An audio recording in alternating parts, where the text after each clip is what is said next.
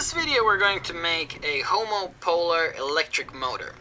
Um, I'm gonna go mostly practical and very light on theory, but I'll give you guys a very quick explanation of what a homopolar motor actually does. So you have, you're gonna have a battery standing on a stack of magnets, and it's gonna have a wire that goes and touches these magnets, and the wire will essentially spin around. So what effectively is going to go on is that you have a stack of magnets that look like this, and say in blue, we could draw a magnetic field going from north to south. And it looks like a torus. A torus is, I don't know, the shape of a lot of things in nature. It's the shape of an apple. It's the shape of a, I suppose a donut would be even closer. So you have this going around 360 degrees around this magnet.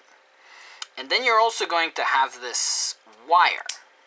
Now this wire is going to go across and touch this. Say, and if you have heard of the right hand rule, the direction of the magnetic fields in the wire are going to essentially be spinning this way. So it'll be like arrows.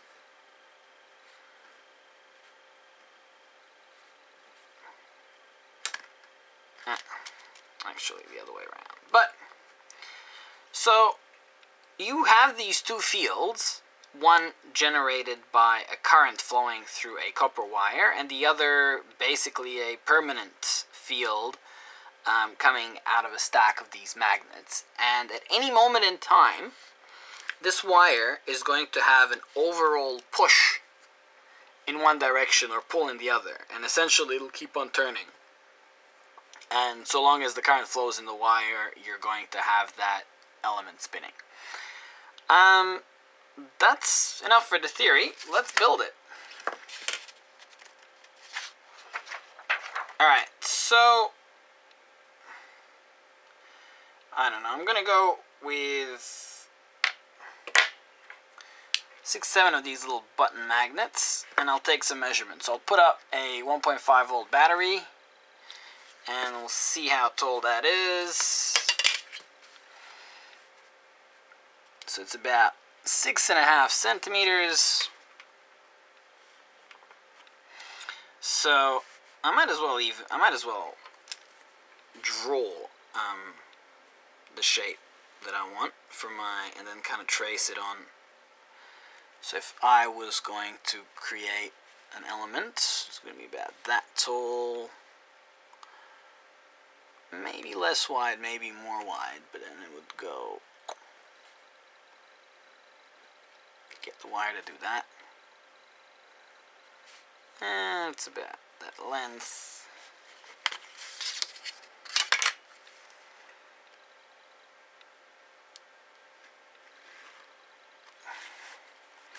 So,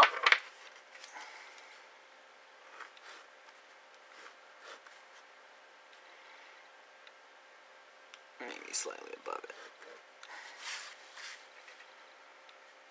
Rightio, we have a shape, and if we can bend some copper wire into this shape, we're going to try using two thicknesses. Um, and if we can then make a little dent in the button of the battery, we'll have a pretty good chance of getting this homopolar motor to work. So let's try bending some wire. First, we're going to use I've got two thicknesses. One is 1.25 mil and the other is 0.8. So if we take that 0.8 first, take a length that's definitely sufficient.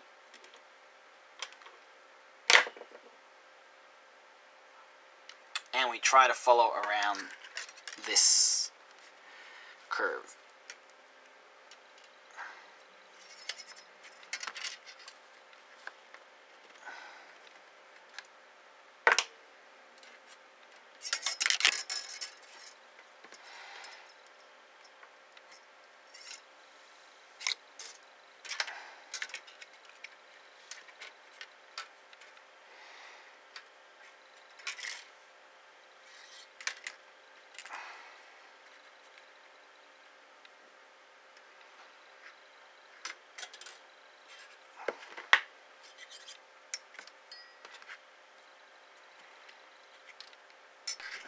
Alright, so here it is. The angles are not quite perfect, but um, mm, might just do.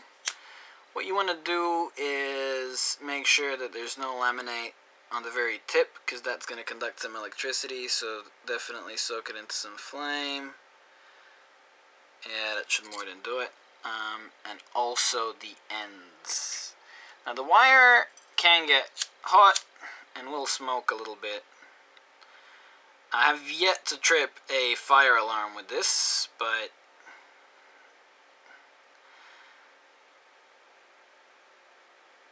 you really may not want to do that.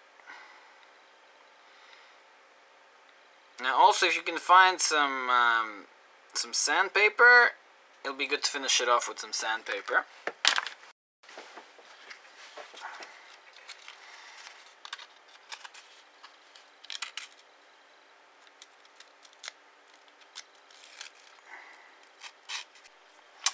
So here we are. Our wire is bent roughly into an ideal shape the um, ends which are going to conduct electricity through this battery have been burnt and stripped. Um, we're going to just try to put that there and that on it and maybe fiddle with it until it balances, but it should get some force and some kick. Oh. Oh. Alright. Um, that is a working motor, but it's not working the way I intended it. So we're going to try to fix it. Try two, we put down a little bit of a metal stage that's going to just improve the balance a little bit. And hopefully maybe these were looser. We could potentially curl these guys back and create a, sort a sort of lock um, onto the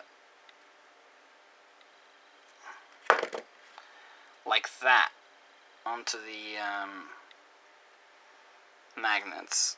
We'll see if this is going to work. And bravo!